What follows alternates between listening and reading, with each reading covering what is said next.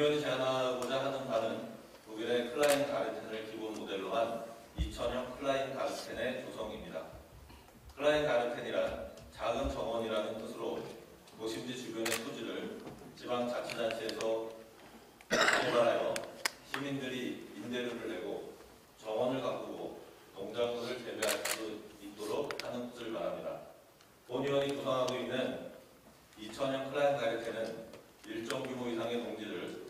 균일한 간격으로 나눠서 제공하고 면적의 10% 정도는 정원을 꾸미고 나머지 면적을 농작물을 재배할 수 있는 정원형 임대 농업 단지입니다.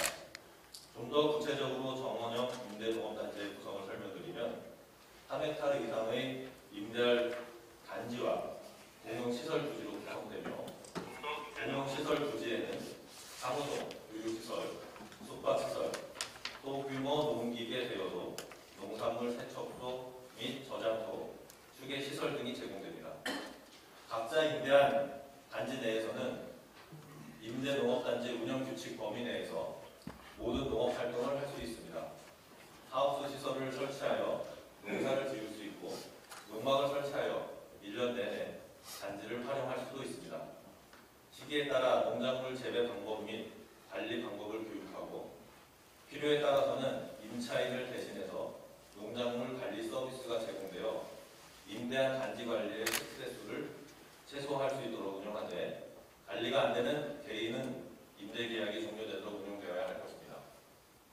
정원형 임대농업단지는 퇴직 후 전원, 전원 생활을 계획하는 퇴직자, 분할 농장을 가꾸고 싶은 어린 자녀들이 있는 젊은 부부, 전문 농업인을 꿈꾸는 청년 농부 등 남녀노소가 와- 찾아와서 즐길 수 있는 공간이 될 것입니다.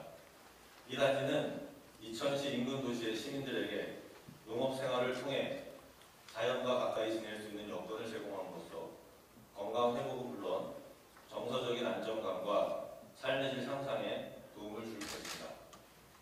이천시가 수도권에 위치해 있기 때문에 정원형 임대농업단지의 수요는 매우 클 것으로 예상되며 친환경 인프라 구축과 지역 활성화에 활성화와 이천시의 생활인구 유입에 큰 역할을 할 것이라고 판단됩니다. 정원형 임대농업단지에 대한 검토를 부탁